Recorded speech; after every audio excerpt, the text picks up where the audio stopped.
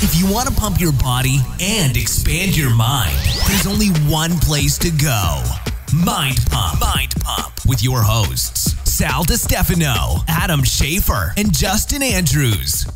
In this episode of Mind Pump, Oh, we brought you guys a guest. uh, Mike Matthews, uh, he's the author of some top selling fitness books like Bigger, Leaner, Stronger and Thinner, Leaner, Stronger. And in the fitness world, in the fitness sphere, there's few people that we really respect. Mike Matthews is one of them. He puts out good information.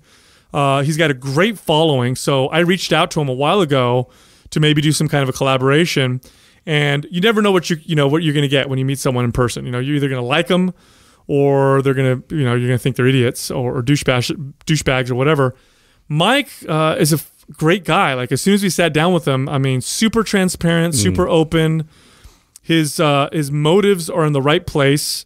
Um, we like him a lot, um, and so we recorded some episodes with him. And in this episode, Man, Incre- entrepreneurs I are going to perk up on this. Exactly. This episode. is wealth of incredible, incredible mind for all you business minds. So if you're yeah entrepreneurs for sure, this episode I think we had no idea what direction we were going to go with him. Uh, in fact, I think I think no none of us had the uh, desire to just go into basic macro and because we're not basic bitches. well, I mean, uh, part of why we even decided to do that with him is obviously we look into someone like this before they come on, and we saw already a lot of his, uh, you know, his philosophies with nutrition and and training are very similar to ours, and so definitely we know the guy gets it, and I think talking about that same old stuff would be kind of boring. So getting into peer into this guy's business mind, he's a very very successful businessman. And very smart, very transparent. Um, you can find Mike Matthews uh, uh, on his two websites. So muscleforlife.com is where he writes all his blogs and fitness information.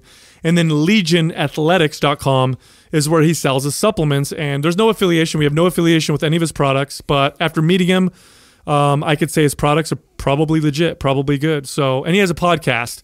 You got to check out his podcast. He's uh, again, he's a wealth of information from this guy. The podcast is Muscle for Life with Mike Matthews. By the way, uh, 30 days of coaching, one of the most popular things that we've done. We get so much feedback on it. Um, it's a way for you to get 30 days or 30 bits uh, of information that we think are the most important when it comes to fitness, health, and wellness. Um, and it's free. We wanted to give something free to everybody. All you do is you go to mindpumpmedia.com, register, and you'll get topics covered in detail like proteins, fats, carbohydrates, calories, resistance training, cardio, me- Mobility, mobility, yeah. meditation, supplements. Meditation, yep. I mean, we run the whole gamut, um, and it's there and it's free. Um, so all you got to do is go to mindpumpmedia.com and just register. So without any further ado, here we are talking to Mike Matthews. So I don't think I shared this with you. So I was an athlete, grew up super religious, so I didn't do any drugs. I didn't have sex. I signed a purity card as a kid growing up. uh, and when I was This goes out to all the parents who think that's going to make, if you force those things on your kid, it's going to make them turn out to great. and he's still going to be crazy like me. So I uh, I started or I helped start two of the first medical marijuana clubs here in San Jose. And the the way that happened was it was a client of mine who uh, made an offer to me that I could not refuse. hey, And I had no and he wasn't even Italian. I didn't know anything about cannabis. I didn't know anything about it at all, really. I had a bad experience with it in my early 20s, the first time I ever tried it. And one of my favorite stories. So This is not for me. Never will do this again. Uh, and I told him, I said, Listen, dude, I have no, I, have, I don't know anything about this stuff. Why would you want me to do this? He said, Well, I've seen the way you lead and you manage, and I want to have six or seven of these, and I would like you to oversee them. And he goes, uh, you know, I know that you're a smart enough guy. You'll you'll figure it out. You'll learn. And and he goes, I don't need you to be a weed connoisseur. I need you to you know manage and lead people. So uh, he made, like I said, made me an offer I couldn't refuse, and I did that for two years. And during that process, I started for the first time ever reading about marijuana because I didn't care whatsoever. This is actually how Sal and I got it kind of connected. Was I had already gone through that process, and then I find weed. I find it kind of was because it was the it was the first. Oh, I think when we started, when I started talking about cannabinoids, that's when you first fell in love. I did because I was like, I had been, I had been doing my own weed, kind of yes. research and and, re- and reading and learning and trying. Like I didn't know anything, so I'm like bottom. I'm trying to figure stuff out, and then I meet this guy who uh, had already been intrigued in reading that direction, and I was like, oh my god, a fitness guy that's really smart and healthy, but is uh, like knows a lot about weed. So we hit it off. And I had a that's how it different. con- I had a family member, close family member, get uh, diagnosed with terminal cancer. So I uh, just researched everything I possibly could on everything that could help. That was not uh, traditional treatment because the type of cancer that she had, it, there was no there was no known. I mean, chemo, radi- radiation, nothing. Like uh, you asked the doctor, they put her on the most aggressive chemo of all time, and I said, uh, "What are, what do the statistics show?" And he goes, "It's not going to do anything for her." I'm like, "What the?" F-? Why even? Exactly. Why even go through it? Exactly. So I went through um, and I just researched everything I possibly could. And the one thing that, believe it or not, had the most research uh, supporting it was uh, cannabis in terms of its effectiveness on actually Improving quality of life. not just that, uh, actually killing cancer. There was a study done in Spain by uh, Dr. Guzman, I believe, and he studied uh, on rats. And they gave the rats uh, a untreatable multiform glioma, which is a brain cancer, and high doses of THC um, actually cured it. I believe in a couple of the rats, and the other ones it prolonged their life tremendously. Oh, they still died, but it was just like, whoa, what is going on here? Yeah, there's something there. and subsequent research in on cannabinoids uh, has demonstrated um, anti-cancer effects. Uh, almost like it, and what it does is it tells the cancer cell to die, to you know program cell death, which is the opposite of what happens with cancer cells. Sure. The cancer cells Yeah, where the apoptosis goes wacky and then they're zombie cells. They just don't die. And for whatever reason, cannabinoids tend to do that. Um, and some can some cancers are very very um, uh, susceptible to cannabinoid treatment. Not all cancers, but some of them are. So uh, this family member of mine was given basically three months, three months to live. She had stage four uh, linitis plastica, which is a form of gastric cancer, which is, if not the worst, I was going to say one of the. They say that in stomach or. well, no, it is a stomach cancer, but it's it's a the type of it is len- linitis plastica, uh, and they call it that. It means uh, something literally plastic because it, it spreads out and it and it just doesn't stop. And um, I think the only cancer with a worse prognosis would be like a stage four pancreatic cancer. Um, so she was three months, and she ended up making it over a year and a half wow.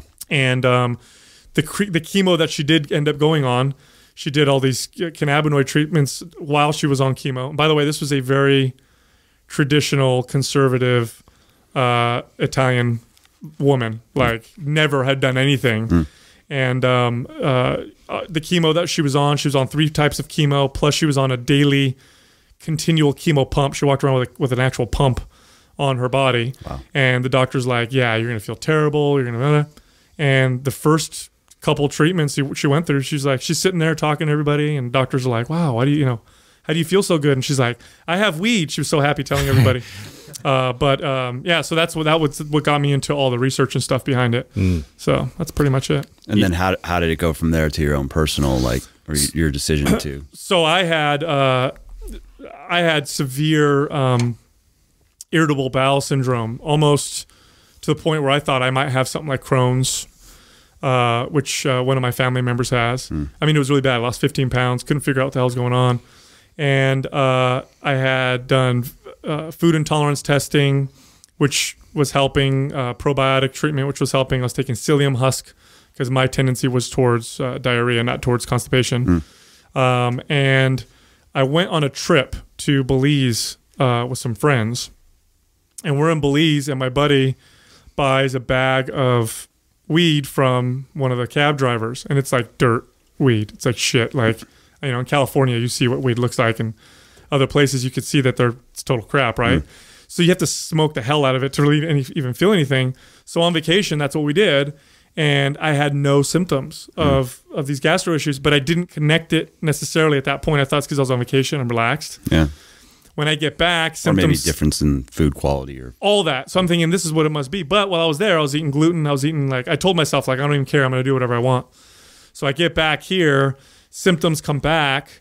I start to think maybe it's the cannabis. Got my hands on some cannabis, and uh, you know here in California, actually uh, in the especially in the legal states, cannabis is bred to be very high in THC because that's what people want. They want to feel high. Hmm. Yeah.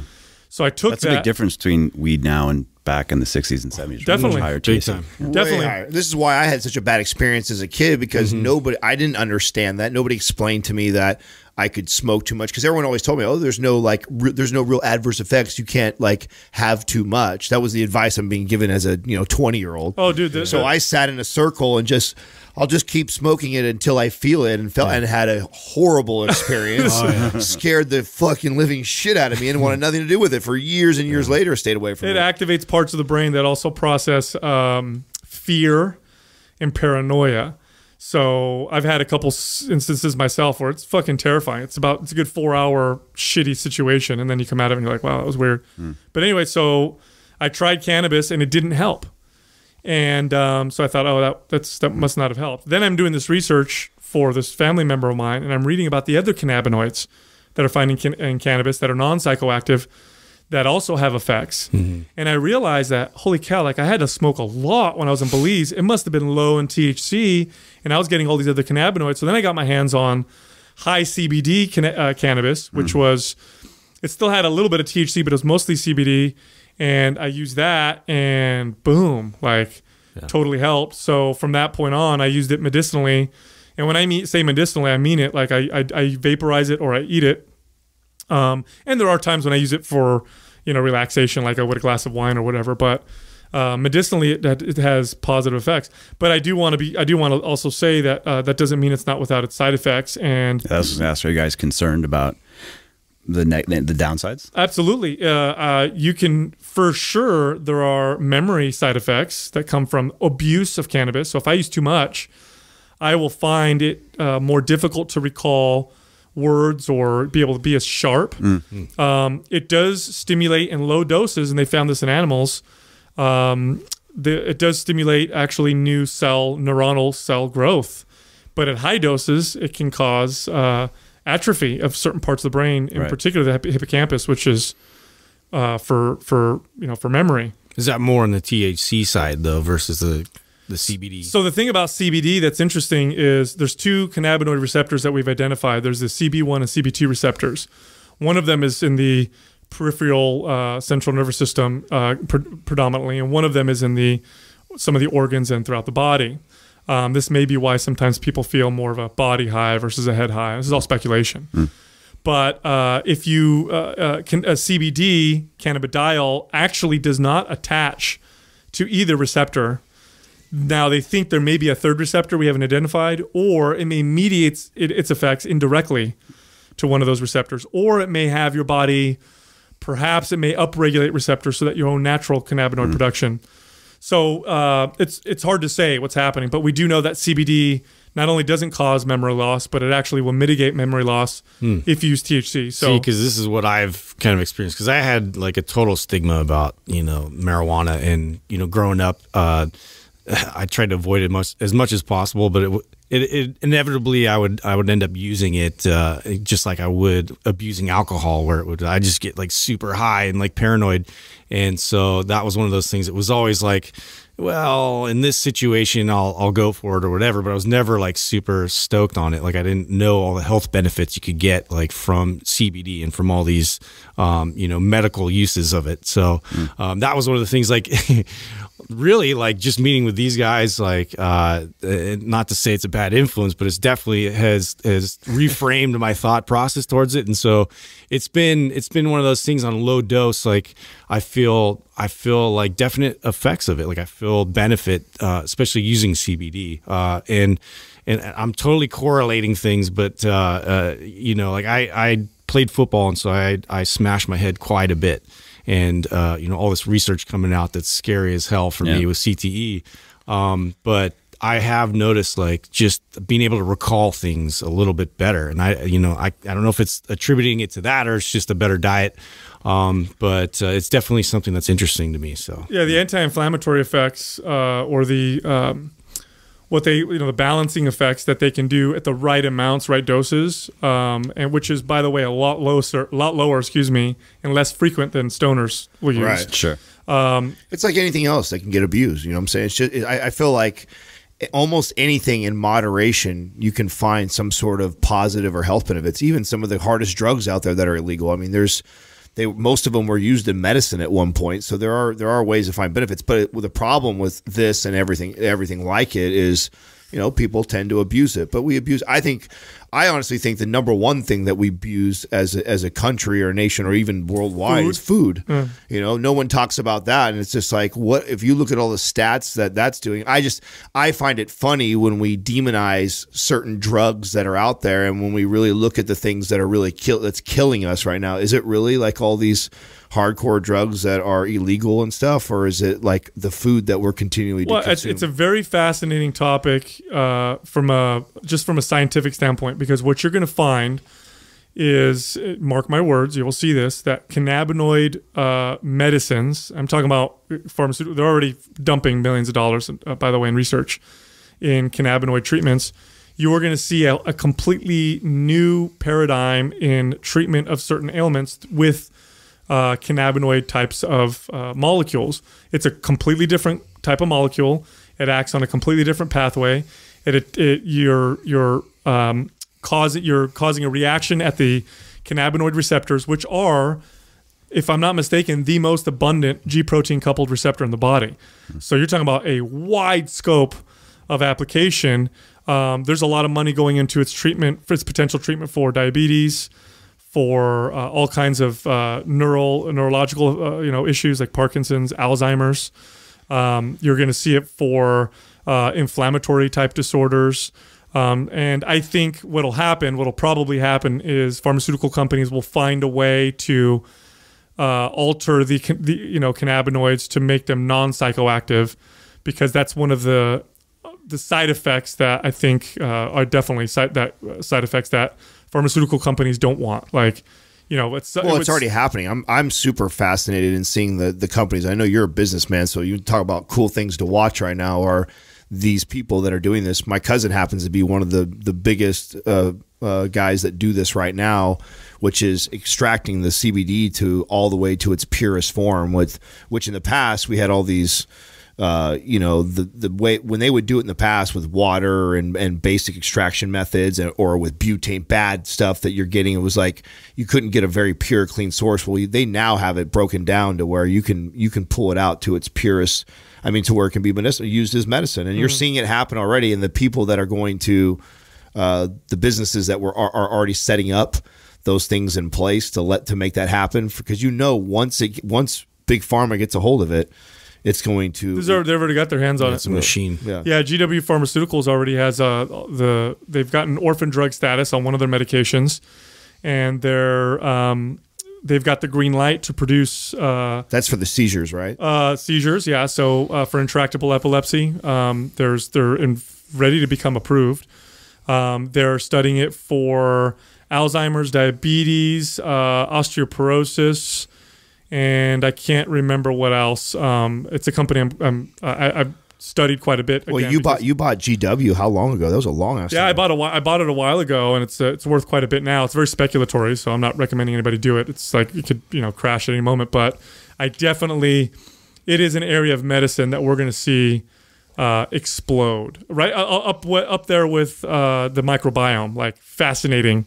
Uh, you know what's interesting too, statistically speaking, when they look at the medicinal med- medical marijuana states, uh, opiate use in all of them Goes way down. That's the way only reason, down. That's the only reason why it's taking this long is Mm-hmm. for that exact reason because it's going to. Uh, uh, the initially it's going to hurt big pharma. You know, Mm. Well, that's why I mean. You say they got their hands around. They do, they have. They're starting to get their hands around. it. Once they have a chokehold around it, then you'll see it go completely. But until they can, until they can have that guaranteed money to supplement all the money they're going to lose on opiates and things like that. Yeah, no, that's. Do you know who's got oh who's who's invested a shit ton uh, in land and getting ready to fucking produce? fucking Marlboro, dude? Marlboro has bought a shit. makes sense. Well, because they already make, they've got all the, stuff that fields they are need. there. Yeah, yeah, yeah. You know what I'm saying? They've already invested quite a bit, and there's some patents that have been uh, go, going through for Which is a the bum- first GMO. You know what's a bummer about Cannabis. that is is it will be once it once the floodgates are open, it will be the race to who can produce the most, the best, the fastest, the cleanest, the purest, right? Like so And unfortunately, for those that saw this way in advance, like myself and people that are connected to me, it's like I don't have the power to even fuck with them. That's part of why I, I left it because I just I won't have enough muscle to to dominate it like it'll need to be dominated because it's going to be dominated really quick and by companies like that that have the manpower that have the the structure in place already and I you know so many people reach out to me and they want me to like ask me like that side of the like that was I was part of the very beginning. So being a part of the beginning was, in my opinion, the better time to be there when they were trying to figure all this out. It was riskier, scarier for someone like me. Risk and reward, right? Right. But now it's like everybody is trying to get involved in it and it's gonna the big big companies are gonna come. So mm-hmm. everyone that's having making a good making good money right now, it's mm. gonna be short lived. It's not the long game for Yeah. sure. What I think is crazy is how how different some of the states are. Like I think you're you're in Virginia, right? They're mm-hmm. not a medical marijuana state. I don't think so, but DC, it, yes. DC is, yeah, and then Florida, definitely not. But Florida, because that's where you're originally from, right? Mm-hmm. Florida, one of the the highest in opiate. Opiate. Yeah. now that's Pill- what I- pills are big there too. right. really? That's Like uh, amphetamines and Oh, all that. yeah. And then what was that one synthetic drug that was getting? That I saw videos like crocodile or some shit. Is, what are those just bad know- I remember salts? bath they salt. turn- yeah, or like they some turn into dude, like- zombies? yeah, Yeah. like ate someone's face or something. That's some scary shit. Only in Florida. Yeah. That was definitely a Florida thing. that was that was Tampa, wasn't that when we were down? That's what we were talking about. Like the last like, thing oh, I I could see this happening We were here. down in Tampa uh, visiting Ben Pakulski, Elliott Hulse, those guys, and we were talking about when was the last time you'd heard anything about Tampa? And one of you two brought that up. Yeah. it was the bath salts, man. When the guy was eating jumping someone's through face. the window.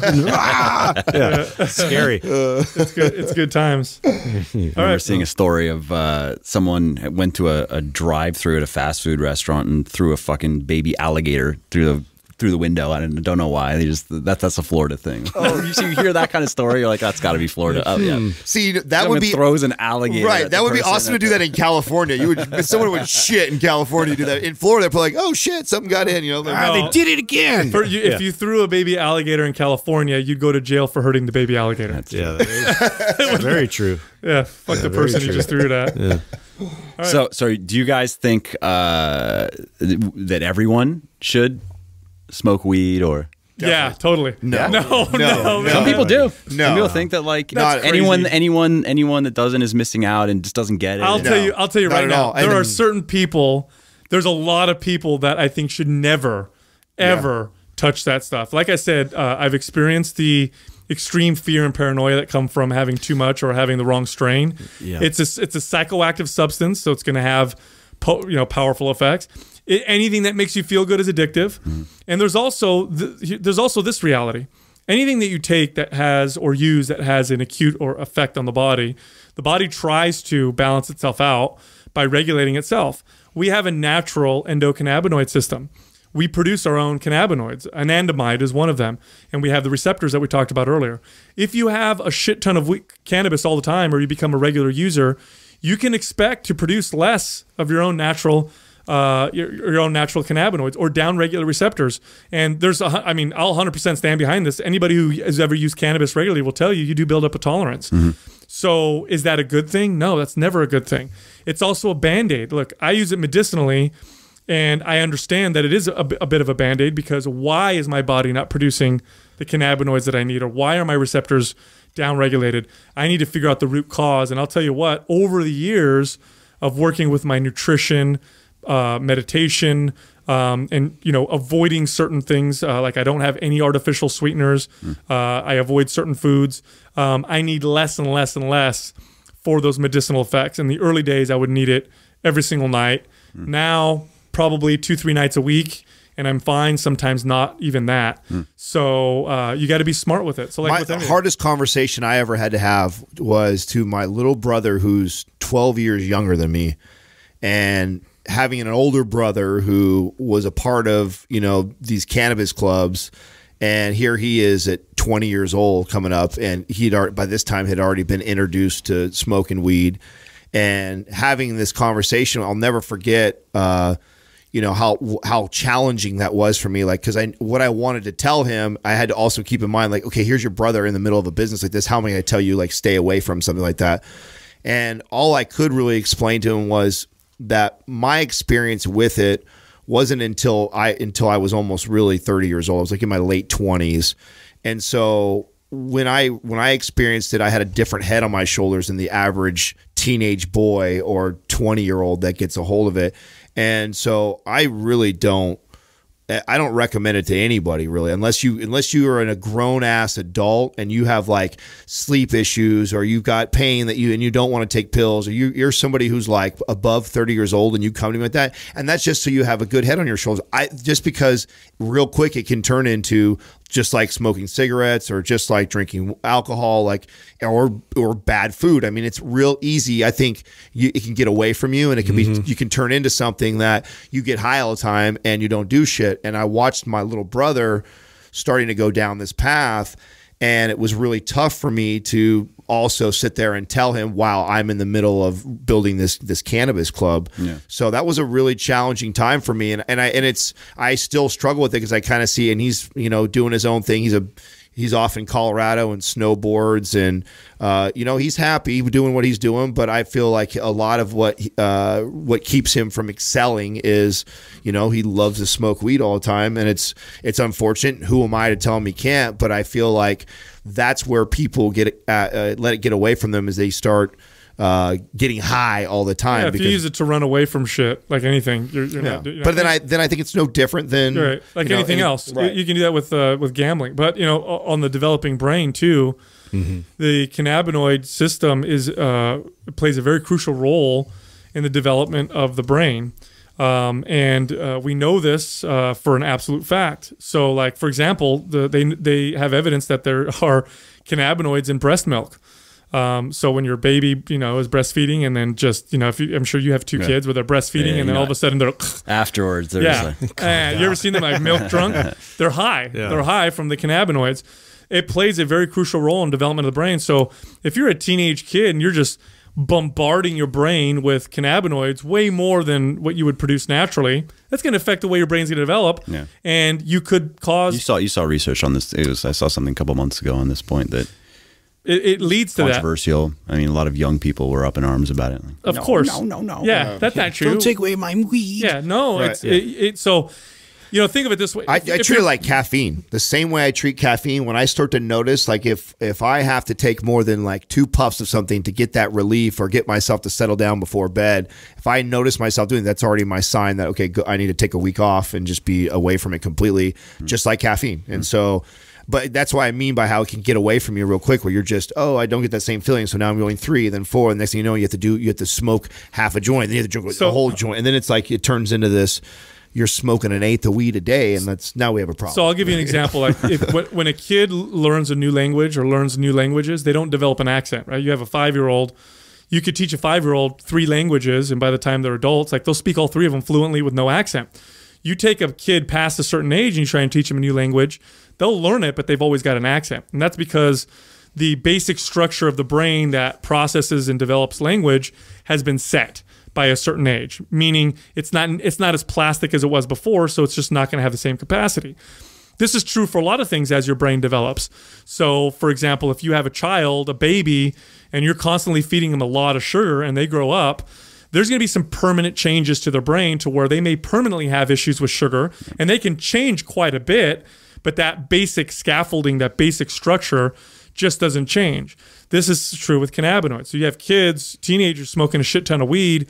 It's not like an adult who smokes it. You know, if you're a 30 year old man and you get real high a bunch of times all the time, and they decide to quit, those effects are probably going to go completely away. Right. If you do this as a 13 year old kid uh, and you stop smoking weed, uh, you know, you'll get some of the effects gone, but not all of them. And they're finding it- it'll affect your IQ. Some studies will show as much by 10 points permanent. So I definitely don't think it's a good idea for kids ever, except in the rare cases of intractable epilepsy or medical Exactly. conditions. Exactly. Interesting. Yeah. Fascinating subject, Mike. Anything Something else I don't know much us about. That's why I'm just listening. well, it, you know, it's it's definitely. I don't know too many fitness guys that actually talk about it. That's why it's always an interesting topic when we get with somebody. Because Sal was the first other fitness guy that I knew that actually had read more about it than I had. I mean, I was fascinated because I was in it, and so I was learning about it. Uh, and then I meet this guy who Oh. took it to a whole other Well, level. you're in the supplement industry. It's gonna it's gonna start. Oh, it'll it's be- gonna start Yeah, it'll- penetrating. It'll, yeah. be prevalent. no, I I, uh, I think Ben Greenfield is selling cannabinoid supplements. Yeah. He sells CBD derived from hemp because hemp you can get CBD. Um, you're going to see it in fat loss supplements because it has an insulin sensitizing effect. You're going to see it in recovery supplements uh, and sleep supplements. Um, so those are the three categories that I think you're going to start seeing a lot of, uh, of interest. And again, the, the companies that are going to really dominate are the ones that have the structure to be able Yeah, they already to supply all of it, infrastructure. right? Everything from the recreational to the medical to the all- all these different It's going to supplements. be yeah, it's going to be vertically integrated. Yeah. It It's is. Company, you know, you know, the companies that really we've talked about supplementation moving out of the sports nutrition space. I mean, the companies that I mean, that's where the insane money is because Really? that's where the oh yeah, I mean. Supplement supplements on the whole, you know, hundred billion dollar a year industry globally.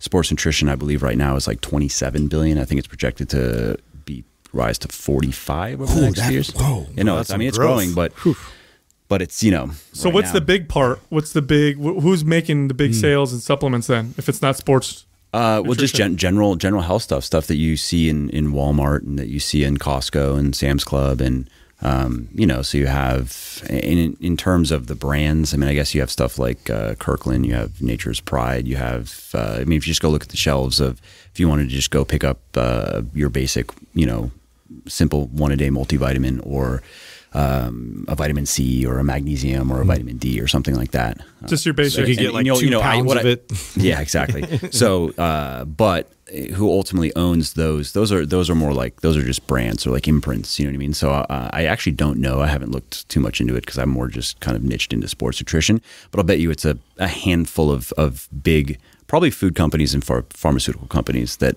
uh, ultimately own you know seven different brands of supplements, and they all just kind of they are their own competition. Is, is there a reason why you haven't? Because I've wanted to go and or look into this direction of actually going into supplementation, like the vitamin D, vitamin C. Like, is there a reason why you haven't gone that route? Like, I mean, how can I? How, Well, I know you how, multi- how can how can I compete? I mean, what's the? is that why? Is it because it's just the market's way too competitive? Yeah, I mean, I could see. Um, But I feel I feel like you're. I would assume people who's buying from you is mostly your network. So they, I would think they would buy anything from you. So I feel like it, I- right now, for example, I you know I do a vitamin D supplement, right? So.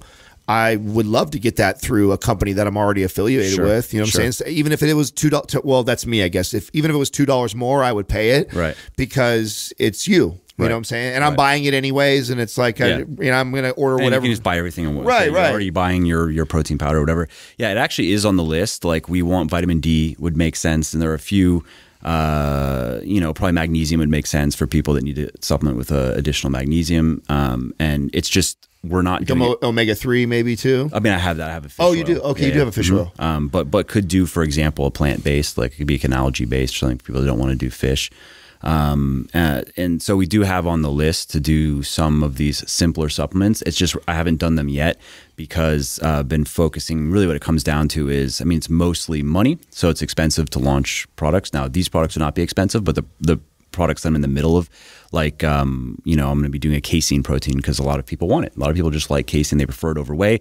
They prefer it over, uh, you know, any sort of vegan protein. Um, but that's probably going to cost me, I think in the end, probably about $20 a bottle to do a good casein protein. And with minimum orders, let's just say when it's all said and done, when you factor in everything, it's probably sixty or $70,000 to launch casein. Um, and then you got to get it established, got to get it, get it going, blah, blah, blah. So right now we're focusing again on the stuff that is, um, I mean, I, I, I guess I look at it as kind of like the the low hanging fruit, the stuff that you know people are saying, yes, please make that. You know, protein bars, stuff like that. Now, what do you say? So, what kind of advice would you give somebody if they're going to go buy supplements? Like, you know, it's obviously an unregulated industry, which I'm fine with. Yeah. But what what should be their litmus test? How can they know? What are some things that they can do to ensure that they're getting what they're paying for, that they're getting quality and nothing else? Um, unfortunately, you have to do some digging as a consumer um, because ultimately, what it comes down to is trusting the company and trusting the brand. I mean, you can you know you can look at labels and that can tell you some stuff. So you know if you look at uh, if you look if you're looking at a protein powder and you look at you know look at the serving size in grams look at how many grams of protein are in the serving size um, and if there's a big discrepancy there if you have a big serving size and or let's say that you know there's uh, you have a, a 30 plus gram serving size with 20 grams of, of protein what else is in there? You know what i mean? Um, also looking at if we're talking about protein looking at the uh, what what if it's whey protein like what type of protein is it? So whey concentrate for example is it's, there's nothing wrong with whey concentrate it's just the protein by weight can vary widely it can be as low as 30% or as high as about 80% Wow. and and What do you mean by the by the weight? by weight. So like you know, uh, per gram of of powder, it, Uh-huh. ca- it can be as low as thirty percent protein, and the rest would just be uh, Filler? carbs and well, carbs and fats because it's just low quality, um, or as high as eighty percent. That'd be like a, a higher quality concentrate. Usually, you don't go above eighty. You have that's where you get into isolates, right? Um, and so like my my whey is 100% whey isolate, which is where they've removed the lactose and they've it's basically just pure protein. It's like it's a it's not 90 to 94% you know protein by weight. Um, and so that's so that's something when you see whey concentrate, you don't have to automatically be like, oh, it's shit. Not necessarily, but there's a higher likelihood that it's shit. And then it comes down to do you know do you what do you know about this company and why do you trust? Because for example, I get contacted all the time by um, mainly mainly raw suppliers from from China, and you know if I didn't care about the quality of my products, I could. So my whey costs me, I want to say it's like around nineteen or twenty dollars a bottle, right? My cost. Um, and I could cut that down to like six dollars, Wow. maybe seven. Let's say seven. Holy shit, that's, a big difference. And still be able to say that it's whey no isolate. wonder, no wonder guys are fucking greedy in that industry mm, because it's that easy. So that easy, It's it's it's just saying like that By- easily, by all the- of a it's sudden, just you like- double your your profits. yeah also. yeah like money. That's about it, right? And then By the way, your transparency, the transparency is that you have in this is fucking great. I really appreciate you going over even the numbers. Absolutely. I don't know anybody else that does that in this mm-hmm. industry. Nobody does. Everyone's mean- everyone's afraid to because even even the people that claim that they're being straightforward about things, there's something that they're Yeah. they're getting They don't over. on. disclose Yeah. everything. Yeah. Absolutely. I mean, I'll say um, my on the whole, um, when you look at it from the from the top level, we look at the financials. Like I want to run, I want to uh, be able to run Legion with a gross margin of around forty percent and a net margin of around. I mean, ideally it would be fifteen percent. Right now, it's lower because we're growing and putting money back in, right, and spending money on exploratory marketing things and whatever. Like it's not. Uh, I'm not trying to optimize for profitability at the moment. I'm trying to optimize for growth, and you can't really have it both ways. Um, but so yeah, That's such an important thing for an entrepreneur to understand what you just said right there. I should make you break that down. it is. It's just you just said it so quick and so fast, but you know, uh, Taylor and I discussed this a lot, um, you know, off air and stuff about, you know, what the challenges of scaling a business, you Yeah. know, and people don't understand, you know, uh, the outsider looking in, you see all these things that are going on. Oh, they must be making all this money and stuff like, well, no, not if you're really, if you're doing a good job of growing your business, you're probably not making Yeah, that most much of it's money. right there. Right, Absolutely. Right. You know, you and, and especially when you have a cost of goods involved, and especially in my case when the cost of goods is quite high. Um, you know, it, it would be different if I were just selling digital products, and even then, I mean, there's still that. Uh, it's still you're gonna you're there, there you're gonna ha- hemorrhage cash to some degree when you're growing because you have to try things, and you know. Uh, like I was telling you guys, we tried um, y- using you know Instagram influencers, main, mainly girls with a lot of a lot of follow, a lot of followers, millions and millions of followers. Lots we of put- ass shots. yeah, a lot of a lot of butts. Yeah. With with, uh, with like Psalms 316. That's I, I don't know. That's what works. It's just the formula. yeah. and and uh, so we. apparently those followers don't read much. Yeah. Yeah. What, what else could they be doing? yeah, that was a great story, by the way. So you guys did that and got nothing out of it. I mean, nothing, nothing that we could quantify. I did feel I did One hundred feel and we put into. it. I So did. I do feel so much better about More hearing that story because. I felt really bad that what we spent and you spent a lot more than us. So I, I do. I Yeah, do we did try that arena. we and, did the uh, same thing. yeah. It was, oh, Go was- big or go home. Same bro. success. Yeah. Same yeah success. But uh but yeah so you know to, to your point uh, with growing a business i mean it's there's there's just uh even if you go about it intelligently and you try to and you really try to lay things out and plan things out and be organized it's a bit chaotic and with that comes um yeah it comes you Mike, know, Mike Tyson says it best, right? Everybody has a plan to get punched in the fucking face. that's it right So you get punched in the face. Boy, the point. Yeah.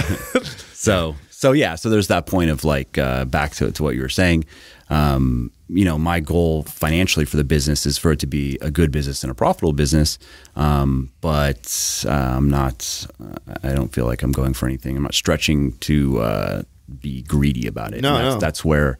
Um, I feel like The- the, the- supplement industry draws a lot of people that are not like that. And the irony of it all, the irony of it all is that you're actually playing the long game. So Yes. Right. Like that's going to make you successful in the long term. So you you can definitely fool the market for a short period of time, but not very long. And then eventually, like flash in the pan. Like we've seen companies.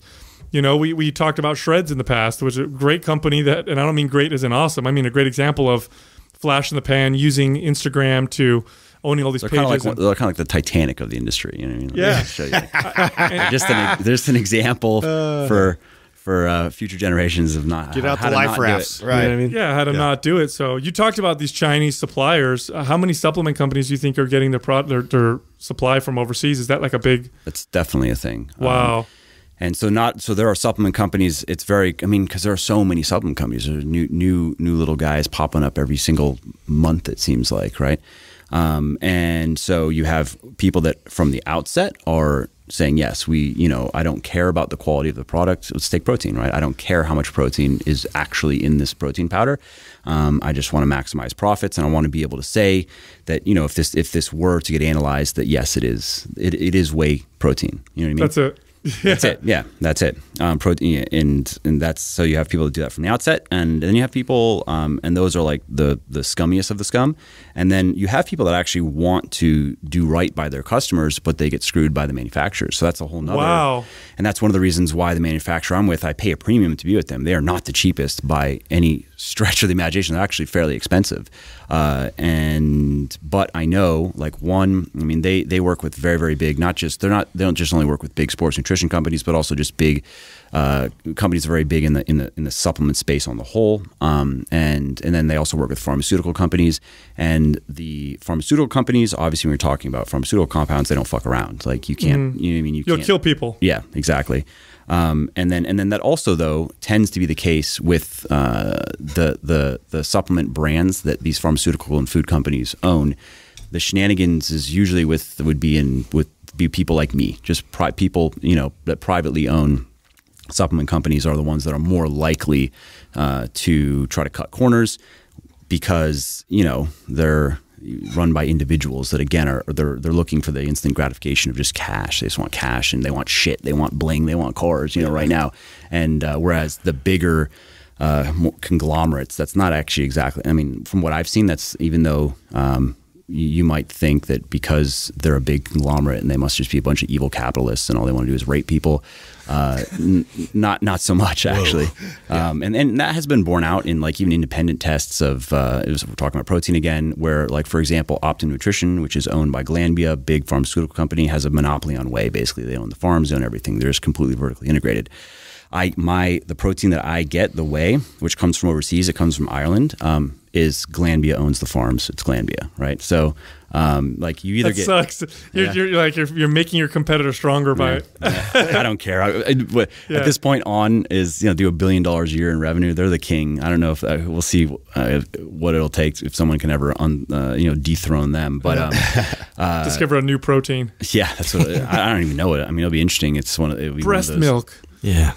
That, that There's a big that could be market thing. there. The insect move is moving. Insect. pretty- I was just Yeah. thinking that. The insect move. Might be That's a hard sell though. It is. It is a It's, hard sell. a very long road for that It one. doesn't taste bad though. Have you had it I yet? feel like no. Oh, it's not bad. I feel like that, that that might work if we find ourselves like, Like everything overseas collapses. No, if Right. we find ourselves in like a Mad Max. Like, oh. like, I'll fucking eat some insect Give protein if it means yeah. Yeah. It's that means staying alive. I'm eating some cricket protein. It's not fucking bad. We had about we had. I believe you on that. Some company, You some can I don't- ground it up to powder, so it's like not like legs are like, like tickling yeah, you. Yeah, leg I stuck know, in but your you just Yeah. know. Yeah, you just- you're drinking disgusting little bugs. you know I mean? It, it is going to be one of the hardest sales for sure. How Yeah. how um how widespread would you say uh, in the supplement industry would you say this kind of these shenanigans are? Is it is it just a, fuckery. um, it's it's it's it's widespread. I mean, So it's you- like a- it's an on the- epidemic. I mean, it's a it's a problem for sure. I've run into it myself. So, um, in setting up a, a backup manufacturer, which is something that now is finally in place, I should have done it earlier because I ran into some some supply chain problems with my manufacturer now because they were going through a transition where um, so I was with a company called Integrity uh, Nutraceuticals. They were based in Tennessee, run by a guy named Peter Miller, super cool guy. Um, he took really good care of me. And then uh, his company was bought by a private equity group, and they bought another company called Cornerstone, a supplement manufacturer based in Utah, and then they they wanted to merge them into one. They wanted to combine operations in Utah, and they kind of it didn't go very smoothly. There were some problems, um, and you know, so uh, there was a there was a time where I I ordered. So uh, pills are generally a ten to twelve week lead time. Um, if it, can go a little bit faster, but that's what you want to plan for uh, in, on your inventory planning and your financial planning. Um, so we had ordered. It had been. It took them a year to get us. Uh, so we were like completely just. Oh shit. And and so in that period. When they were starting, it was things were starting to get rocky, and um, they basically it was like triage. They had to decide. The manufa- my manufacturer had to decide which accounts are going to get serviced and which aren't basically because they had you know limited capacity in their lines and they're having all kinds of problems. Um, so in that time i was like uh, well i, I could have I, I could have prevented this. I should have had a backup manufacturer. Like that's one of those basic things. I mean, I hadn't I hadn't had any problems previously, so that's why it never really occurred to me. But then when it did happen, I was like, yeah, that's pretty obvious. Like you don't want to have all your manufacturing eggs. in Well, it always se- it always seems obvious when you get fucked. I know, I know. But so so I go out and I'm looking right. Found a company that had all a bunch, you know, all the certifications look great. They're based in New York, and uh, wanted them to run to do the multivitamin to start with, right? Because I need multivitamins, like I need it right away. So let's start with that. And I told them that uh, I'm going to send the product to get uh, to Eurofins, a big, you know, respected lab, to get tested, so um, to, to ensure that everything is there. Because again, a lot of manufacturers, what they'll do is um, they'll give you a great price. So you say, "This is what I want." Even if you want to make a good product, they're gonna be like, "Okay, here's your price," and and you'll be like, "Oh wow!" Like I mean, again, we get pitched by not just random Chinese protein uh, peddlers, but also other manufacturers that will say, hey, we'll make we'll make your pre workout um, for you know sixty percent of what you're paying right now, and, uh, and that's also so if, if I were naive or um, may, maybe Or didn't care. yeah, or just just just saying I like money and sure whatever, then I could do that as well. And um, then what they would do though is so going back to the story. So I uh, so this manufacturer in New York uh, runs runs multivitamins, and I tell them I'm going to get them tested, um, and also before I pay for them, like I want, I'm going to make sure I want to make sure that you know uh, I'm getting what I what I want and what I'm paying for. And so he does it, and I send him off to get it tested, and it comes back that they're basically his vitamin C pills. So I didn't pay, and I was like, Ah, wow. God, that's I just wasted my time though. Like, I, and I, I was, I was telling you, I was like, what the fuck was the point of that? I told you, I was, I mean, I guess you just thought maybe he was going to call my bluff or something, or maybe I would just. How did you not- know to have the smarts to do that? Did you have just an idea because of the margins? Like you're just like he's offering this to me for so cheap. He's got No, because I wouldn't have went. Like his price was good, um, and I expected it to be a little bit lower than you know. Capstone is the name of the company I'm with right now. Um, because again, like Capstone, they're not they're not the the cheapest, but um, and, and now we're past all that stuff. They've been really good now. They have um, everything streamlined, and you know they're that that. Uh, transition is is that period is over. Um, but but so no his price was a little bit better but it wasn't it wasn't so low um, that it because if that were the case I would have just moved on because you know if he would have come like at six dollars a bottle uh, then I know like yeah that's gonna be vitamin C. See, and it, what sucks about this is you're talking about vitamins, minerals, protein, like herbs. Like there's there's herb blends and stuff. Like how do you te- you know how expensive it is to Yeah. test? I do know because I've done it. Yeah. Like my, my multivitamin has, uh, it's not just uh, vitamins and minerals. There's 14 other uh, things in there, and some of them are herbs. And um, so, like, That's like specific testing. yeah, I, I think uh, if I remember correctly, how much was it for? So Triumph is the name of the multivitamin. It was, I want to say, five to six thousand dollars just to test that one product. Um, and so, you know, a whole round of testing, um, which I've done several times with Capstone for the same reason, just because I want to make sure, um, you know, keep them honest, so to speak. Um, I want to say it's thirty ish thousand dollars just to just to know that like what you're getting is real. You know what I mean? That's cra- That's crazy that, that that's your responsibility to do that. Yeah, I mean, a lot of companies don't do it, which is you know also something we're going to be. Um, so there's like a little internal kind of evolution um, that that we're going through, and it's it's something I want to do from a. I mean, it's gonna it, it's a branding play, but I think it also is going to. Um, I want to I want to kind of maybe set a standard for that the other supplement companies. Uh, might ha- that consumers can hold other supplement, companies up to. So like one of the things, so a few of the things are going to be we already we're already good with transparent formulations and using education and not hype to sell, and um, at least internally making sure that you know uh, I- what I'm selling is what I say it is. Um, but I want to I want to kind of push this a little bit further because obviously right now um, the evidence-based fitness movement that, that that whole space is growing and more and more people are using science or appealing to science to sell things right uh, whether it's to sell programs or products or even sell themselves and it's not very hard to do um, if you want to bullshit people because you can just use big words and make it sound like you know what you're talking about. And you see more if we're talking supplements, more and more of that. A lot of a lot of these new supplement companies that are popping up are um, their their angle and their their copy will reads and it appears and reads very similar to mine, right? And um, so it's gotten to the point where see when when I first started Legion, there weren't very many companies that were talking about clinically effective doses, for example. That just you didn't hear that phrase very often. And they, uh, while some companies would, I mean, I would say they'd make passing references to scientific research. It was very lazy. It's not like they were really trying to dive in and and and justify the product scientifically. It was more just like, oh yeah, there's some studies that say this is good, so here, take it. You know what I mean? Um, so when I first started, like what I was, what my approach was was unique, and uh, now it's not so unique. Unique. A lot of people are are doing the. same Wow, I didn't know that. So you you uh, you say you were one of the first guys to really start doing that because you see it that I know of. That, that- Yeah. To do it the way that I'm doing it again with like no proprietary blends, um, so fully transparent formulations, uh, clinically effective doses, but then also in the sales copy it, where it's very educational and it's uh, explaining you know wh- why every ingredient was chosen and why the dose was why we, we set the dose where it is and and citing research that you know anybody can can go access and, and and read if they want to. Yeah, three years ago when we first met, uh, before we started Mind Pump, we talked about some of the trends that we saw in the fitness industry, and one of them uh, had to do with the supplement industry. And I made this very, I was very passionate about, it, and I said, look, what we see right now, what we're seeing with food right now, um, is going to start to carry over into supplements. For example, you know, seven, eight years ago, uh, Safeways, Lucky's, Nob Hill, you know, all these these major grocery store chains uh, did not have organic sections at all. Um, to get organic food, you had to go to Whole Foods, you had to go to a specialized store. Now, all grocery stores, hell, your 7 Eleven now carries products that will say organic on them. And I said, watch what happens in the supplement industry. You're going to start seeing all of them move in that direction. Yep. And we actually had a friend, um, his name sounds like uh, Mo Connolly, uh, who had a supplement company. and I, uh, I, I had a very subtle right there. very subtle. I had a, a, a huge argument and debate Not with even him a real name. because he wanted us to sell his supple- to promote his supplements, Connolly. and I'm like, we can't, uh, we can't sell your products because they're all artificially flavored, they're all full of all these chemicals and shit, and and we're not going to promote that. And I said, you, I said, if anything, you need to pay attention to the market because it's starting to shift, and you're gonna, and it's going to be a problem, and you need, you should shift before. And I think I'm right. I think it's starting to happen already. I mean, what do you, what do you I think? Absolutely. I mean, that's one of the, the things that I saw initially and, and also uh, just believed in personally. So, you know, all of our stuff is naturally sweetened, naturally flavored, um, and no unnecessary fillers or junk, no food dyes, stuff Mm-hmm. like that's not necessary. Like, do you really care if your pre workout is uh, Green, Yeah.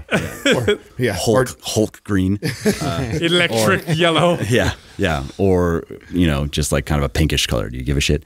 Um, so, and you actually can. I mean, like, so our blue raspberry flavor. Uh, yes, it's blue, but it's not artificial. It, you can you can you can change You- colors. you actually have- natural natural molecules. You have like natural from- Smurf extract in it, Yeah, that's what it is. making it blue. Smurf Squeeze out semen. Smurfette. Smurf semen. Yeah, That's the secret. That's, That's the the secret sauce, huh?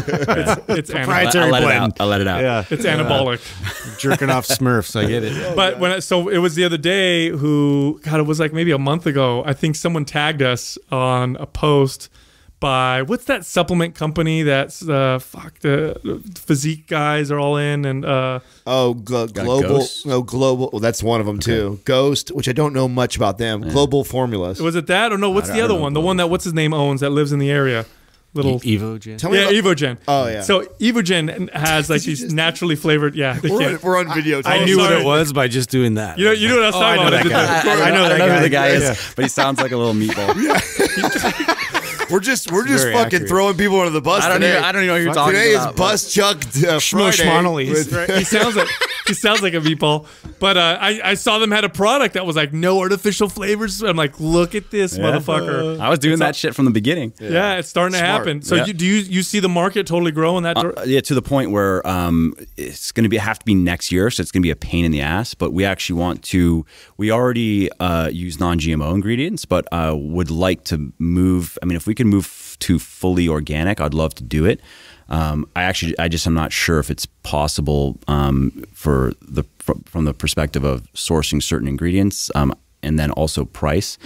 Some organic ingredients are super, super expensive, and unfortunately, like sure, I could do that, but I would have to Jack your price by like nine dollars or something. yeah, and I can't, I can't, out. I can't do that. So what I'd have to do is I'd have to pull uh, ingredients out. So I'd have to sacrifice product efficacy, basically, um, for just just to have it be fully organic.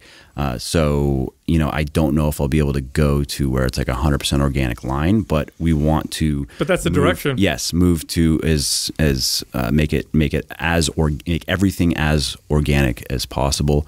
Um, and that's not. I mean, that's partially a marketing play because I do agree with you that that's that's Mm-hmm. that's the definitely where the trends are going.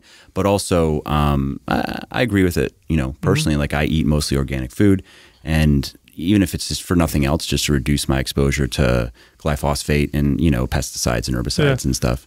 Yeah, And- it's- and also you know it's been obviously I mean you guys all know this that uh, organic produce like certain fruits and vegetables are more nutritious like there are more vitamins and minerals and good things in them and that's why I'm eating it you know like sure I've I've eaten uh, that's just kind of my diet so I've come to enjoy it but um, all- in the end is you know is the cauliflower as tasty as the French fries no so why do we why do we eat the cauliflower Yeah. it's because it's good for us And the the uh, the irony of all of this is because the organic market is starting to grow so fast because it is it's exploding. yeah look Um, at Amazon's Whole Foods Yeah, uh, look at Costco. We go to Costco. There's like uh, so many organic things that like three years ago weren't even in there. Hmm.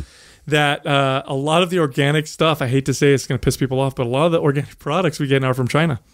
Like Yeah, they're, they're sending us organic. Oh my God. Yeah, I know exactly. And Yeah, who's watching? Who's watching that whole Yeah, thing? who's- You know, we talked about the that. Whole I'll- I'll say though that it's not uh, not everything that comes from China is is bad. It, it really depends on on the company, and that's where if we're talking about manufacturing. I'm glad you said that. So what do you? Yeah, keep explain. yeah, so that's so um, you know there are we get I know that Capstone gets some of their ingredients from China, and I know they get some of their ingredients from India, which also is can be hit and miss, um, especially stuff like spirulina. There's good spirulina that comes from India. There's bad. There's good spirulina that comes from China. There's bad. Um, What's the difference between good and bad? uh, just contamination. Oh, wow. Yeah. Um, so that's where again you have to have from if as the supplement. Um, I mean, I'm, I'm not the manufacturer. I'm the as the as the company or this, as the seller, as the person that's you know creating the products.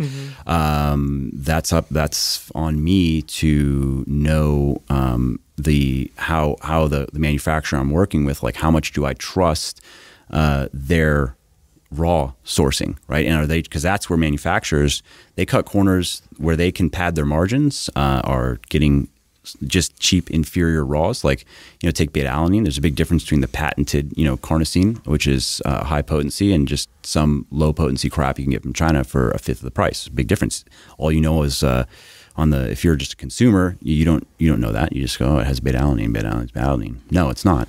Um, so th- there's that, and then there's there's fill volume, right? So you know to to be compliant with CGMP, you have to you can have a variance of uh, about ten percent, but that's like meaning that um, label claim and what is in there needs to be you know 90% of of what is supposed to be in there but you know there are manufacturers that will uh, if if they know that you're not on top of it and you're not going to hold them to it and you're not going to check it out yourself you it won't necessarily you know they'll they'll, they'll fill it to 70% especially if you're talking about caps in particular you know what I mean so um, and that's obviously just that's just uh, profit for the for the manufacturer Did you So- know all of this when you got into the into this business? no I mean I, You were pleasantly surprised. yeah, it was kind of a learning process, which again, I'll, I'll credit uh, Peter from, you know, that was the first manufacturer I found that, that really took good care of me. And uh, so I had, in a sense, uh, I mean, I wouldn't say it was, it wasn't just like a, a mentor that just taught me everything, but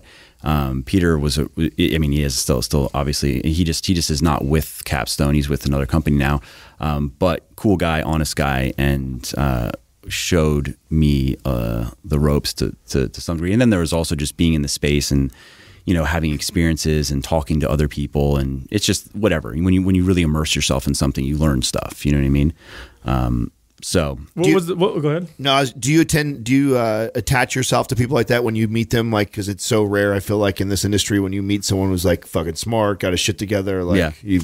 Yeah, yeah, feel- and, and, and then usually try to um, see what I can do for them as well. You know what I mean? Like I, I don't like to run around asking for favors generally. So like I, I usually won't ask people for things um, very much. Uh, I'll be more I'm more interested in what I can do for them. So then if at some point uh, I do need to ask for a favor, it's like no problem. You know what I Right. mean? Because I think it's kind of silly and, and annoying when I mean I get it quite a bit where people ask me to do random things for them when I don't even know them. You know what I mean? It just doesn't make sense. Why, Right, why, right. Why, why, would, why would you ever think that would work? At any point when you're doing this, when you're entering the market and you're learning about all this shit, were you like, fuck it, I'm out. I don't want to do this anymore. Uh, No, just Uh. because uh, again, I was just I believed that I can just do it the way that I want to do it, and I knew that that that, that meant that. What my- gave you that confidence, though? Is that just because you did you recognize right away that you were smarter than who you were going up against, or did you? How did you? When did you? hubris yeah just basic like yeah, uh, no um, well so there was one thing there was like going into it i wasn't my goal wasn't to create the biggest supplement company because you can't be i mean I'd, I'd say this probably applies to any, any industry you can't be the biggest and the best but that's particularly true in supplements right so the biggest companies are never going to make the best products because they're always going to be reliant on retail and if anything that is uh, I'd say any sports nutrition product that is that is on the on the shelf of GNC, um, unless we're talking uh, protein powders from very like On's protein powder, for example, it tests. I mean, there have been a lot of independent tests that have been posted on Reddit and stuff and whatever, and On generally checks out. And again, that's like coming back to Glanbia has no reason to fuck around. It would be it really against their interests. To, That would crush them. yeah, it'd be stupid for what they already. They're you know just that. They that's already just have a one big of their piece of the pie already. that, that's just on is just one of their brands, billion dollars a year, and I- like I said, and they have a complete monopoly on the whey market. So why risk that for? So why why would they ever want a s- amino spike? That would make no sense. You know what I mean? oh, so you're saying so On has a direct connection to the the Glanbia is owns on straight up. So um and and Glanbia, What else do they own? ABS I think and ABS and did they they may have bought BSN as well. They may have been Glanbia. I don't. I'm not sure. They own a number. They own a number of. That's when you're a gangster brands. when you own competitive. Yeah, competitive it makes brands. sense. I mean, again, because uh, and that's what they do. And food food companies, big food companies buy something. Oh, dude, companies food, as well. ph- big pharma will buy uh, big uh, herba. Like you'll Yeah. have you know, Yeah, big yeah. organic. They'll buy organic products. and- Absolutely, yeah. yeah. Um, so so yeah, so uh, going into it again, my goal wasn't necessarily to create the biggest uh, the biggest supplement company. I you know hundreds and hundreds, hundred million dollars a year in revenue. Um, I wanted to do. I mean, it, it's, yeah, it's kind of cheesy, but I want to create. I wanted in my at least to, to my standards. I wanted, I wanted to make the best the best stuff. You know what I mean? And so um, and and in terms of my personal confidence in um, in being able to do it, uh, I guess um, if I so when I go back and I was looking at it, um, it just seemed it seemed straightforward. Like, and, and this is maybe something there's a subconscious element, and and I've this is how in business I'll just when I I'll know I have a good I have a good intuition for things that will work, and when I see something and and I and I feel strongly about it, and I and I see it in my mind of this is where this could go and uh, and and when when I have a, a, a personal conviction that like oh yeah that's gonna work. Like there's you know I, I just there's something that will flip for me and I just go yeah there's no way that fails like if I just execute there's no way that It's just a matter of execution at that point. So, and then and then I'm confident in my ability to execute. And um, again, it's not just me. I've recruited people also that are very good at execution, um, and and also very good at ideation as well. And so, like, um, there there's that. I know that you know I can get things done, and then also I know that I can work really fucking hard. So, like, if there are people, sure, there are people out there that are smarter than I am, can have better ideas, but can they outwork me? You know what I mean? Yeah. Is and uh, and so that's also been kind of a culture that I've cultivated um, you know, at, at or with my team, again, is you know, uh, everyone everyone works hard. They put in time and they don't fuck around and they get shit done. And it's not something that I have to. I'm not a slave driver. I have to like run behind them and micromanage them and and, and you know be on them to finish every little task. Um, it has kind of just naturally developed. Now that all being said, are can you give us examples of times when you thought something would succeed and it didn't? yeah It failed. yeah sure so um, most recently we we released a, a vegan protein right it's like a pea rice uh, quinoa and hemp blend and so there was a lot of hype on it on social media. People were freaking out about it. Oh i can't wait for this. Can't wait. And released it and sold like uh, i want to say maybe like 500 bottles in the first week which is which is bad. Like you know when when when we released our fish oil it was like 3000 bottles in the first week and um, and and since then it has it has now caught up. And because there's a point where you have to look at it from from from a cash flow perspective uh, where if you're not selling enough of of an item it's not worth having because you just have you have minimum orders you have to work with so how much cash do you want sitting in your warehouse is what it comes down to Which has got to be a pain in the ass when that you figure that out and then you have to cut it off and then you got to deal with the handful of people that are going to be emailing you, right? yeah yeah yeah so we've had that so The 500 people. That's yeah, yeah. So we've had it. We've had it. Now it looks like it. The, the name of the product is Thrive. So it looks like um, it's going to be fine. It looks like it's. I mean, it's it, it, it did not meet our our expectations at all. It, from that sense, it was like. And, and it also is just interesting to see that the disconnect between the hype of people saying, "Oh, how excited they are," to the uh, actual hardline numbers, and and you know that's I, I've come across that in just uh, reading about marketing, and, and this is my first, I'd say, like that stands in my mind experience where surveying is great when it's done correctly, but don't don't think that just because people tell you they're going to buy something that they will, and don't think that just because people say they're really interested in something that they're going to buy it. Yep. it's very different. Um, it, it just is. So. So that that was that was a, an experience that recently. We also had that with unflavored whey protein. So like, there's a huge market for unflavored. uh, that's what I would think. especially on, on Amazon, there are a few companies that are destroying, and that's all they do is unflavored shit. Uh, Naked is one of them. Uh, good branding. I don't, I've- I don't know who's behind it, but they're smart. Like they know what they're doing, at least from a marketing perspective and from a branding perspective. They've done a good job. Um, and so we thought that uh, it would be kind of a no brainer for us to have have unflavored. We didn't expect it uh, to to explode, um, but it just it just didn't do well at all. Like we we just Wow. dis- We looked into it, that. You know what I mean? And I wasted a bunch of money on um, doing. I believe, yeah, we had we had five pounds. So we have like two point two pound whey, and then we have five pound for people. And you can essentially, when it comes down to per serving, you're you're you're getting it for like ten or fifteen percent less per serving if you're buying the bigger one. And um, so the bigger ones, I mean, that's cool, but they're very expensive. My cost. And uh, like again, I'd say I don't, I don't know the exact number, but probably somewhere between forty and forty five dollars or something per bottle for me, right? Um, and and minimums are uh, I want to say fifteen hundred to two thousand bottles, and so had a bunch of uh, unflavored uh, five pound whey because again we thought that It's a lot of whey to be hanging around. we, we thought it would do well. so it's like 100k and just unflavored, you know, big bottles of uh, of unflavored whey, and you know they sat around for for months and months and months. And again, so like that shit matters though because especially when you're trying to aggressively grow a company and then funding it myself, Right, or- your margins are already thin, and you so don't, you don't have cash room for cash is everything. Cash flow is everything. So uh, if you you know we weren't we weren't counting on having that money tied up for as long as it was tied up, um, which then just like means you have to you're constantly re you know just juggling your fi- your financials basically, um, and.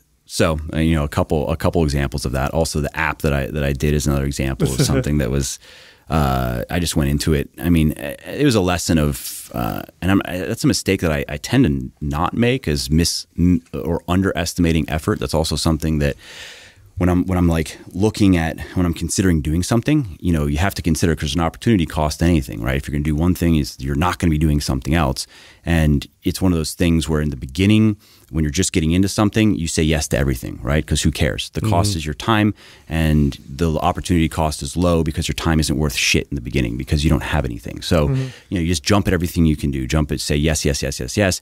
But then it flips as as you become more successful. Um, you have to learn to say no to a lot of things, right? Uh, we had this conversation not that long ago where we were, you know, I remember when the business hit that point where you you have to look at your your time now is you're breaking it down. Like, okay, I could mm-hmm. I could have even though in the past I would have done that because any exposure or anything Yes. doing anything is good, but not when you could be potentially doing something else. Exactly. I mean, your guys. So in your in your business, it comes down to even guests, right? So, in the, if you were just starting, it'd be a lot of yeses. Get get whoever you can, and then and try to make those conversations as interesting as possible, Right. And just get rolling. Uh, but now with where you guys are, you have to be picky, and you probably have to say no to a lot more. Yeah. Uh, you know, you probably get people reaching out all the time where it just doesn't make sense. It's nothing personal, Right. It, it's just because if you're going to sit down and spend time with that person, you're What's gonna not going. needle, You're you not. know? Yeah, Yeah. exactly. You're not going to be spending time with someone else that might, you know, just that would love to be on the show just as much as that person. Exactly. Yeah. Yeah, in the beginning, I had a couple friends that were that were guests on our show, and they were they were interesting. They were definitely experts in their field. And then later on, like a couple years later, you know, I'd have other friends who knew them, like, "Hey, do you want to interview me so I can Yep. talk about?" it? I'm like, "Uh, oh, sorry, I can't. I got other guests coming in right now. Yeah. Can't Maybe do next it." time. Yeah. Wow. But So- that, so when, when- that, when that happens in a business, though, I think it's a and one of those crucial points. I think there's these. It's like a step ladder, you Absolutely. know. And there's these points where a lot of business that's where they, they can't figure that piece out. You know, you and said- usually that correlates to income or revenue. I mean, you'll find uh, that you know it's it is usually um, tremendously difficult to to get to break the seven figure, so that to get over a million dollars a year in revenue. Um, and th- so that's like a big milestone. And then I'd say probably 10 million is that's another big, like very, very few businesses ever break $10 million of revenue in, a, in a year. Um, and you know, depending on who you listen to, some people, you know, uh, they say that, the, that kind of in the middle there, that's also, or think of it as in terms of like the progression isn't necessarily linear; it's more stepwise. So you kind of like you hit a certain level, and then you're kind of plateaued, and you're working, you're working in the business, so you can then break through to the next level and and the challenges are very different as you move up. So i know that you know so then getting from okay so so you've gotten to 10 plus million uh you know in revenue in annual revenue that what got you there won't and in most businesses will not get you to the 20s right? And that's just that's just another game. And usually what that comes down to is personnel and that because that's where scaling the business if you don't have good hiring processes and good onboarding processes and training processes and if also you're not willing to get rid of people that are not working it's very hard to take a business and again this is generally speaking, uh, from that 10 million a year revenue range to the 20s, and then again, so like the the what what what got you to 20 won't generally get you to 50. That's like the general kind of So I, I normally say one to three, then the seven to ten, then the fifty, and then the hundred. And it's like very There's- few get to here, very even less get to here. Yeah. Even it's crazy. There's in that middle though, for sure. There's in that 20s, which is, um, you know, in, in the case of Legion, kind of what I'm what I'm going through now, and we're uh, we're doing we're I think we're doing all the right things, and we're putting. It's just a lot of work because um, when you talk about in absolute numbers, so you know uh, you need to if you're doing things that are, are let's say there you, you could add something that that that increases your revenue by a million dollars a year, right? That's significant. And then the, if you're doing two or three million dollars a year, that's big. You just you just you know greatly increased your your your revenue relatively speaking. But if you're doing fifteen million dollars a year, and and depending on how much work it takes to to make an extra million dollars a year that's fine, but you haven't, you know, you- you've you've increased your revenue by seven percent, um, and it, depending on, you know, if that cost several, let's say, months of your team's work to really put that in place, that's several months that are gone. You know what I mean? If you, and if you do that, uh, if you only can do that twice, let's say you try it again, the next thing doesn't really work, and then by the end of the year, let's say you have two real winners that that you know have increased your revenue by two, maybe three million in that year. Um, sure, you've grown, you've grown, you know, whatever it is, ten to twenty percent, but you know that's ten to twenty percent, and a whole year went by.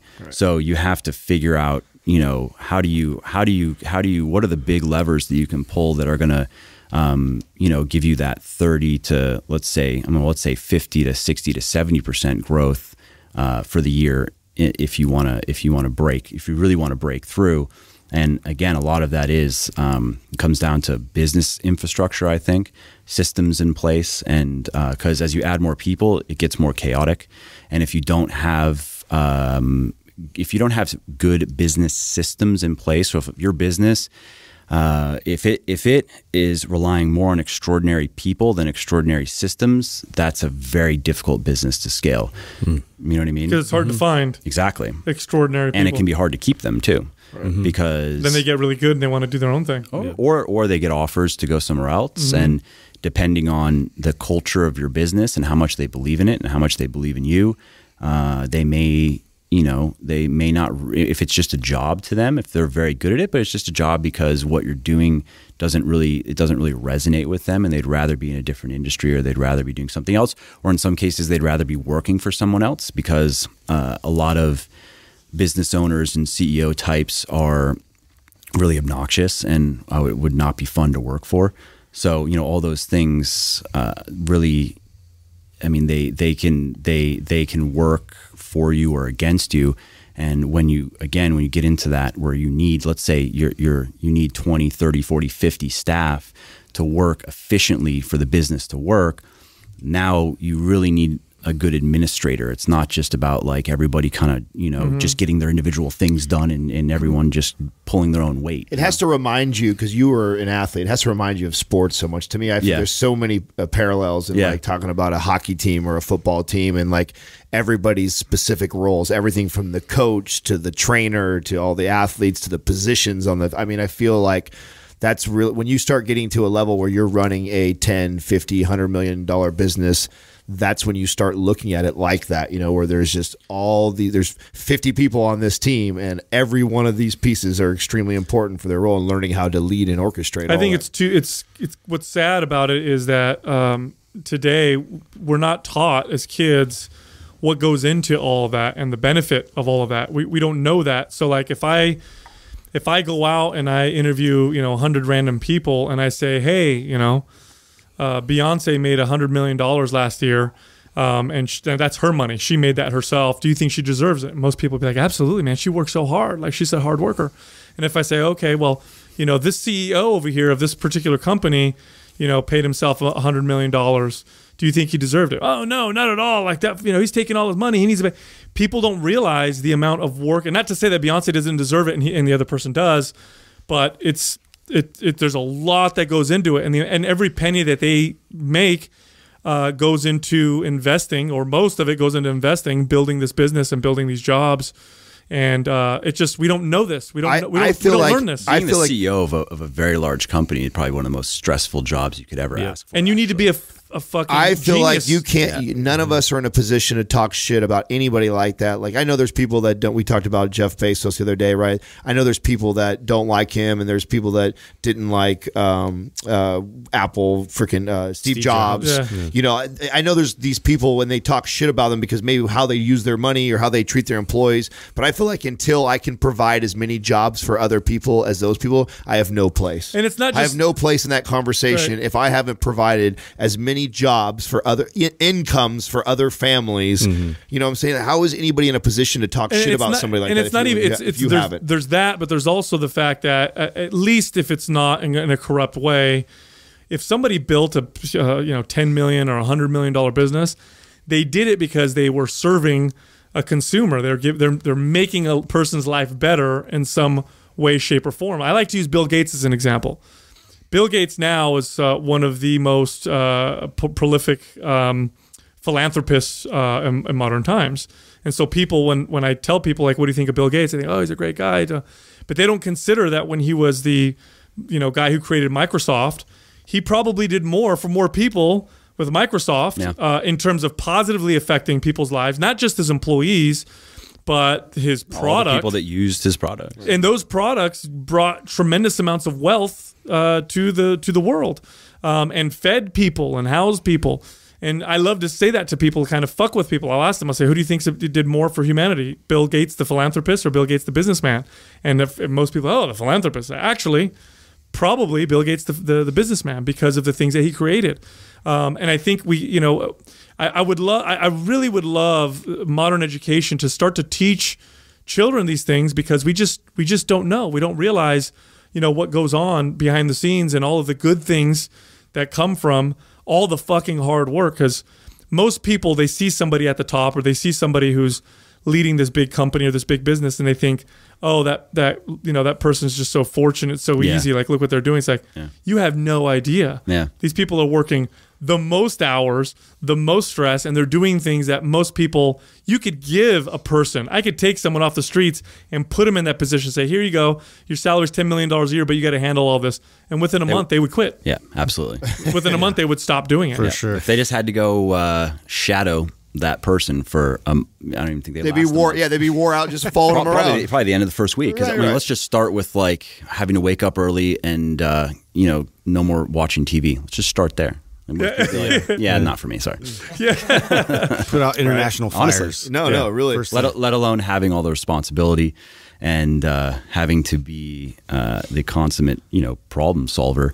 And so, I mean, that that's, but it's it's first just the basics of you know what it takes to be able to to run in those circles. And you know, I've seen it. I've seen it firsthand. I've seen it through um, I mean, I mean, through my own work and the people I've met, um, but even previously, uh, my dad is, an entrepreneur, uh, a successful, a successful dude, and I've met a lot of people through him, and you know, seen people that are very, very successful. And you know, in one case, uh, so uh, there's a guy. His name's Bob. He's in his 70s now. And he built up a company called Pharmacyclics, and he sold it for twenty-seven billion dollars. And he uh, himself walked away with five or something. And so he's in his 70s and he's been, I mean, uh, he's been working probably, I would say, 70 to 100 hours a week for his entire life. Like this is all this guy has done. His first big win was he built a, it was a cookie company. So he, he bought into a cookie company that was failing and then turned it around and uh, and then sold it for about $100 million. And another big win was robotic surgery. Got into robotic surgery, made it into this whole thing. His next big thing was a cancer drug, and the story is, you know, it was uh, he had put everything on the line, and it and it, and it, it wasn't looking good. Uh, similar to like an Elon Musk type story when you know when SpaceX was down to its last. He had, he had, he had no that was his last money was the last launch for SpaceX, and he had to borrow money just to make payroll at Tesla and shit. And uh, in the end, though, and it was it was with Bob's company. It was, it was just so many things were going to have to happen uh, that were unlikely. So many unlikely serendipitous things were have to happen, but it all it all happened. So now here he is in his seventies, uh, unlimited money. Mm, what's he doing? He just started another company, Yeah, and he's doing the, that. That's just that's that's how he is. And the and the other part that I try to tell people or talk to people all the time about is that i at least in like I said in mostly free societies, we the people the consumer has all the power.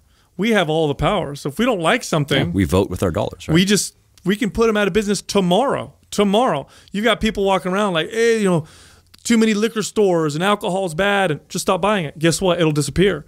Or look at all these magazines promoting all these horrible ideal, you know, body ideals, which we talk about all the time on the show. Mm. Well, it's not going to exist if we stop buying it. We have all the power, so we can control what we want, what we don't want, and really, what are your thoughts on, on the body ideals? That's an interesting. on the body ideals, Yeah. on what we think on people's. yeah. what 'Cause I, I think It's I think that- unbelievably distorted now, man. Yeah, I mean, I think there's some value though in peer pressure for sure.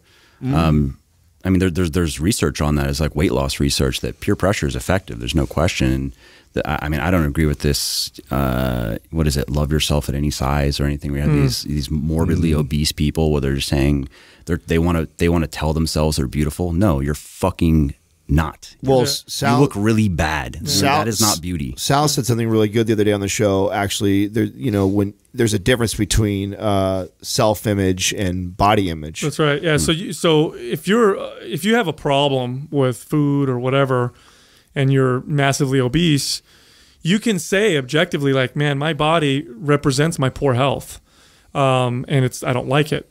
It doesn't mean I'm a bad person. Doesn't mean I don't deserve respect. It doesn't mean I'm not a human. Um, it doesn't mean I don't love and I shouldn't be loved. Um, those are all still true, but you can you can have a an objective body image. People confuse the two, so you have people who are just as sick, who look ripped and lean and Yeah. fit, who've identified with their body, who that's their value. And I think some people Now, in by sick, do you mean physically or you mean mentally? both, both physically and mentally. There's, I mean, we work with people and and uh, you know taking drugs and doing things to make themselves look a certain way. Yeah, when drugs enter the picture, I mean, Yeah, or just the starvation that some people will do. So, I think I think in in an attempt being to chronically being chronically calorically deprived though is is not going to be as unhealthy as being obese. No, but you can get it that way if you really Sure. push it, of course. But you're right, absolutely. And it's not nearly the epidemic that uh, chronically overfed is. Yeah. But if you, you know, I think they're trying to solve their own mental anguish by instead of them saying, um, you know, they feel as pain, right? Because they're overweight. They see people look at them differently. They fit in clothes differently. They move differently. They feel terrible. Yeah, they probably There's don't a- like what they see in the they don't like what they see. There's that perception too. Don't forget, there's also that perceived like, I know I don't look good. Now, anytime somebody says something that I don't like or anybody does something I don't like, I'm going to see it through that filter and, oh, it's because I'm fat or, oh, it's because I'm short or whatever, right? It's because that, so it kind of self perpetuates. And I think people try to solve that, that anguish for themselves by throwing it all out and saying, fuck it. I love all of this and I'm going to Yeah. own it. And I'm, and it sounds empowering. Yeah. It's actually not. It's not empowering. It's ego building. It's it's no different than like I said the other people the other side of it. I mean, it's delusional. It's delusional. Um, but you can have a body image that says, "Hey man, my body's reflecting my poor health. Um, I need to work on that." But doesn't mean I don't think I'm a great person or a bad. I, this is just something I need to work on. That's a Do healthy. you think you'd really feel like you're a good person though if you let yourself go that? I, I do. I don't think I anybody's. don't. per- I think I think it's a facade. I think it's I think it's something that I think that's a, a reflection of their own insecurities, and so they're overcompensating. I think that's what that is. I think that's I'm pretending to be super confident in myself, but deep down inside, I'm screaming, and you know, Well, I mean, because if you're if you are constantly engaging, if you're constantly doing things, and this this I think this extends beyond just eating, but if you're constantly doing things that you feel you shouldn't be doing, or not doing things that you feel you should be doing, that i- in, you're just not going to feel good about yourself, Right. I mean, and well, on, on not just the physiological level, but the emotional and what I mental mean. level. Absolutely. Yeah, yeah. But there's also because your actions really determine your feelings, and your attitudes, and so it's it's much easier, I think, to so if somebody wants to make some big change personally, it's much easier, I think, to look at what actions can we change uh, that will naturally inculcate the the beliefs and the ideas than it is to try to dive into the um, subjective and and sort out why do I feel this way and it, it- you know if I just try to if I could only feel differently then I could you know behave the way that I want to behave I think it's much easier to aim at changing actions even if it starts with very simple Oh, actions yeah. Mm-hmm. first step to awareness Well, is taking a step. right, Right. And they're and they're and they're both, i- i- but they're both the same thing. And what I mean by that is, let's say I'm morbidly obese and uh, I feel like shit. Uh, I can just say, look, that's it. I'm going to avoid soda and lose 15 pounds, and that's going to start, make I'm me going to feel start better. walking Yeah. uh, for 30 minutes a day I'm just going to go walk Right, and that's going to make me feel better and help me look at myself differently and help me examine myself. But the flip can be also true. I can also look at myself, become self-aware, and be like, "What am I doing to myself?" Which will then make me make those decisions. I, I don't think that they're separate. I do think they're all um, they're all connected, and they can uh, they can both be manipulated and worked with. But uh, you know, but in the end only the effort wins though if you're not willing to exert effort and I think this course. is just just in life right Uh, of course, but there's a there's a level of I think we don't appreciate the level of uh, unawareness that people can live in, like literally can literally live in and not like I've like people will have no idea how bad they feel until Yeah, they come out of it for sure. or have no well, how many? idea. I mean, I know our, for us, how many clients, and I'm sure you too, have dealt with that. You know, tell you I feel good. Mm-hmm. Like, oh, I feel good. Yeah, no, I feel great every day. But they just they've never really truly felt what their how their body's running when it's being fed optimally. It's being it's rested. It's training correctly. Totally. Then all of a sudden it's like, oh shit, no, I really feel good now. But they had no idea. So there's also you know people at that we're point- all probably at you know suffering to that to some degree right now. Uh, absolutely. we could all feel so much better, Right. If, you know, if we were doing things differently. Well, I tho- feel like- those You won't know that be- till you challenge Yeah, what those things those Yeah. things might be for us personally are going to be different. But I mean, I I believe that of myself for sure. Oh no, we talked just the other day about you know with the last podcast we did together was uh, the whole sleep thing. Like I didn't put that together till way later. I didn't.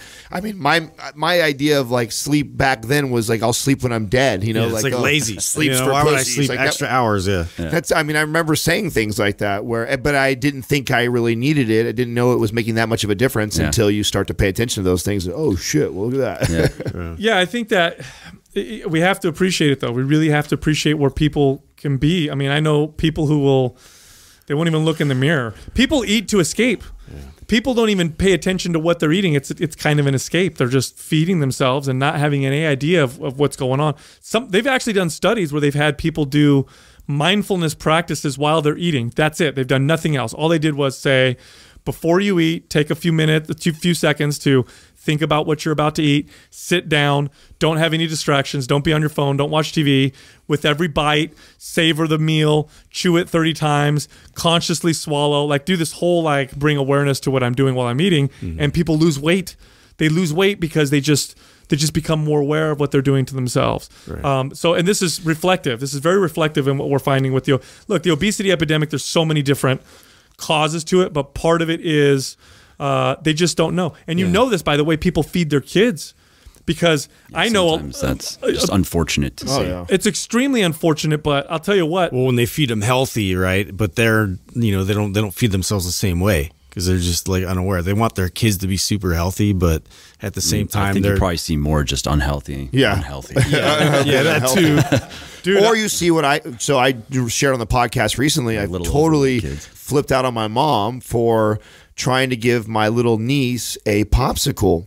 And what why I got upset was because three times uh, the baby said no, and she still tried to give it to Yeah, her. what's the point of that? right but and what i put together and realized is you know a lot of people have such a bad relationship and connection with food that they it's like this rewards it's like you're trying to buy the child's love because you know when she puts it in her mouth she's going to light up and be like oh and you know she's going to which is you don't really realize why she does I, lights wo- up I wonder if it's darker than that, though. Maybe not consciously, but subconsciously. It is. People love uh, to, Taking you down a little bit. Well, you know, if if you if you're struggling with something, you it's like Schadenfreude. You you you want you get some sort of gratification by seeing other people struggle with the same thing, and you and on on the flip side, you don't want to be around. You don't want to be reminded of it by let's say you see someone who does not struggle with it at all and who's very strong in an area, very weak. A, a lot of people there's that cognitive dissonance there where it's like you just